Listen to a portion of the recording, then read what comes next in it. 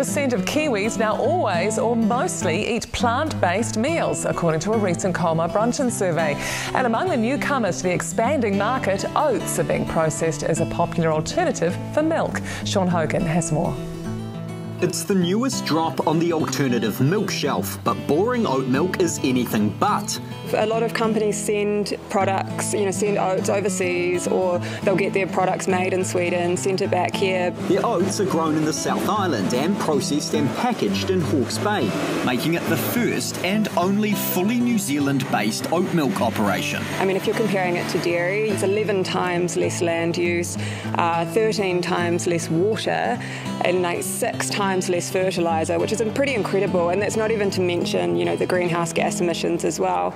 Otago University's Food Science Department has been studying the cereal and believes it's a suitable crop to diversify from more traditional farming practices. If you have too much nitrogen in the soil, that uh, oats can also help to absorb and reduce uh, to the excess to the river.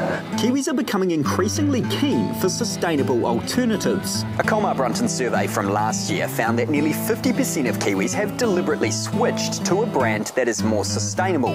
But with new products coming on the market all the time, there is a warning not to get sucked into greenwashing. The Sustainable Business Network says consumers should pick products that align with their ethics. If you genuinely care about these things, it really does make sense to read what's in these products, to make sure you know about them.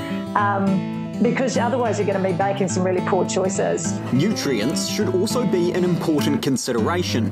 Whether they use the whole uh, plant as a resource, once you're adding one component like protein extract or it is just a fiber, you, you will miss the overall content of the value from that crop. In this growing market, boring oat milk's got high hopes for the humble grain, aiming to make it as prominent as dairy. Sean Hogan, One News.